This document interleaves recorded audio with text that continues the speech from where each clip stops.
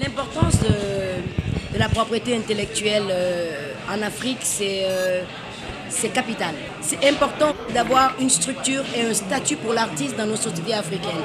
Aujourd'hui, nous, les artistes africains, nos revenus de la protection de nos œuvres viennent souvent de l'Europe, des pays développés, mais pas d'Afrique.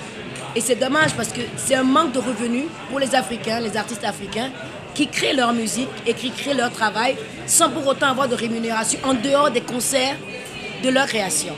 Y a beaucoup d'artistes en Afrique qui arrêtent la musique parce qu'ils n'y arrivent pas ou qui ont un métier à côté.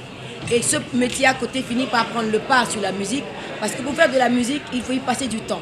La musique est une maîtresse possessive et qui prend tout votre temps. Et si vous n'avez pas ce temps-là pour faire votre musique au quotidien, forcément, vous n'y arrivez pas.